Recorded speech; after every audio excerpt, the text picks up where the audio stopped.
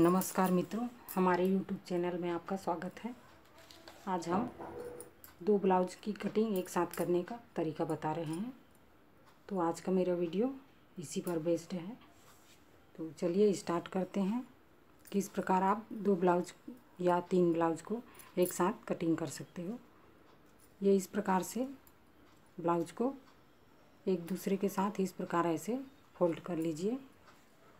ये ऐसे जैसे हमने फोल्ड किया है।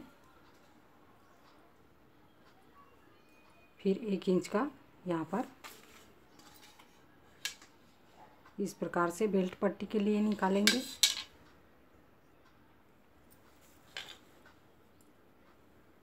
उसके बाद ये जैसे ड्राइंग बना हुआ है है ना?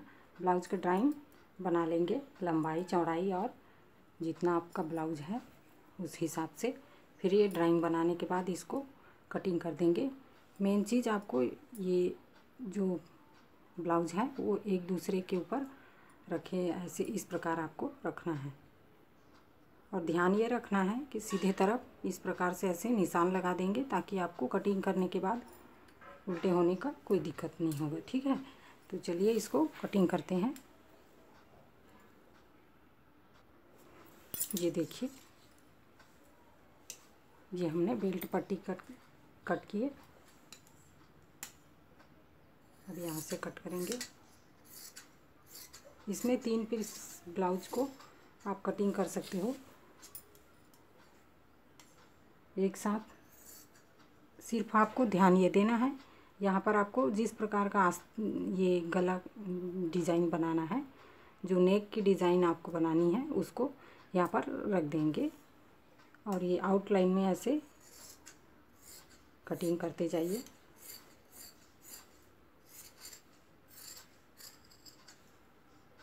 इसी प्रकार से आप अस्तर की कटिंग भी ऐसी कर सकते हैं।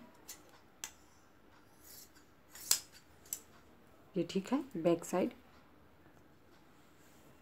अब हम फ्रंट की कटिंग करेंगे।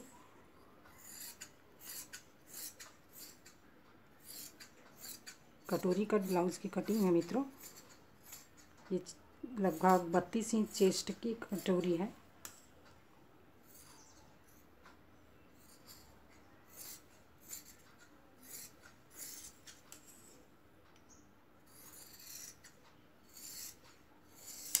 ये इस प्रकार से पूरा यहाँ जितने निशान हैं वो कटिंग कर लेंगे। उसके बाद आस्तीन निकालना बताऊँगी, इसी में अब आस्तीन निकालने के लिए यदि हम इसको इस प्रकार फोल्ड करेंगे तो हमको चौड़ाई कम पड़ेगा। तो इसको हम इस प्रकार से फोल्ड करेंगे। अब देखते हैं इसमें अपना पेपर कटिंग को रख करके जितनी जितनी इंच लंबाई का हमको आस्तीन चाहिए, वो हम यहाँ पर मिल रहा है कि नहीं। ठीक है, ये इस प्रकार से इसको कट कर लेंगे। ऐसे निशान लगा करके।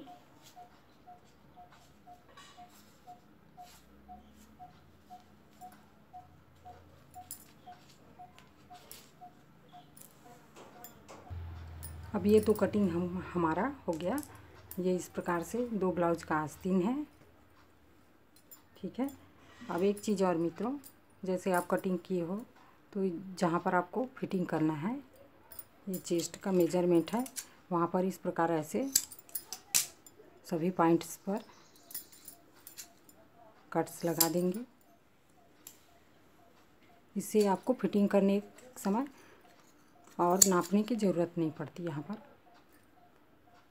तो ये चीज़ है छोटी छोटी बातें हैं, वो आपको ध्यान देना है। और ज़्यादा कुछ नहीं है मित्रों। आशा करती हूँ मेरे डिज़ाइंस और मेरे तरीका जो है वो आपको पसंद आता होगा। और यदि समझ नहीं आता है तो आप मुझसे कमेंट करके पूछ सकते हो। और जिन्होंने सब्सक्राइब किया है उनका दिल से धन्यवाद। और यदि आपने सब्सक्राइब नहीं किया तो फटाफट मेरे चैनल को सब्सक्राइब, लाइक, शेयर और कमेंट करके बताएँ मुझे कि मेरे डिज़ाइंस और जो ब्लाउज़ का वो कैसे आपको लगा। ठीक है? अब यहाँ पर हमारा तो ये हो गया, ये बेल्ट पट्टी हो गया। इसमें हमको पाइपिंग निकालना है और पाइपिंग निकालने के बाद इसमें हम बटन और काज पट्टी बनाएँगे, ठीक है? तो अभी आपको निकालने का तरीका बता देती हूँ।